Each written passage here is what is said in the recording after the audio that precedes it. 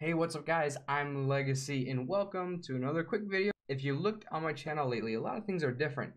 Um, channel art's different, name is different. I changed my YouTube name to Unnoticed Legacy. Um, I made a video about it very recently about how I changed my gamer gamertag to Unnoticed Legacy and it kind of clicked and everyone liked it. So I was sitting like, do I just want to change my channel name to it? Because there's no other Unnoticed Legacies on YouTube and there's a bunch of Legacies Gaming. So I was like, you know what? Screw it. Let's go for it. Let's update the channel name, update the channel art. The channel art's pretty much the same.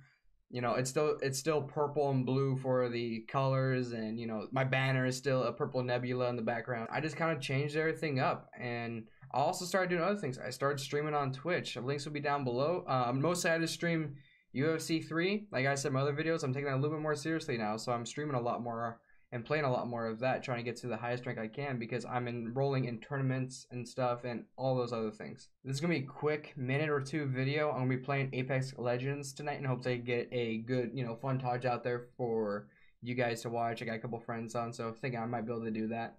Anyway, guys, it's been Legacy. I'll see you in the next one.